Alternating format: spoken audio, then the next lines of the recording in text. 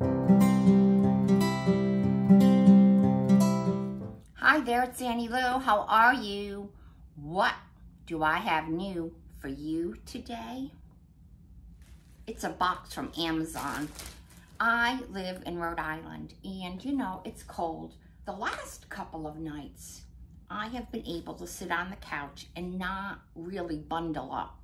But usually at night, you know, once you're settled into your nest, you, you get a little chilly. I got this. It's a 50 by 60 inch heated throw. Let's take a peek inside. Oh, you know, I forgot what um, pattern I had ordered. I'm partial to this print. It is going to go well on my couch. Here are the controls, and the other side is nice and fuzzy. I don't want a big blanket on me. It's usually my hands and my feet that get cold. So um, I think this is gonna work out well. There you go. Thanks for stopping by.